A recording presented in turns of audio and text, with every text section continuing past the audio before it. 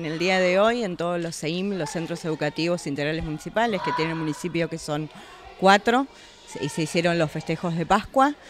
Los, distintos ciclos, los que realizaron fueron distintas actividades, decorando huevos de Pascua, haciendo carteleras del día de Pascua y el festejo, digamos, más grande fue acá en el CI número 4, en el barrio Don Mariano, donde los nenes prepararon una coreografía, todos vestidos de conejo, junto con la docente, para invitar a los otros nenes más grandes a que participen de este evento y reciban en el día de hoy un huevo de Pascua que le entregó el municipio. Como todos los años, el proyecto es institucional, sobre el festejo de las Pascuas, trabajarlo también con las familias y desde el municipio se le regala un huevo de Pascua para compartir el domingo con sus hermanitos y su familia. Nosotros la estamos preparando desde el día lunes, estuvimos haciendo actividades de plástica y otros talleres relacionados con Pascua.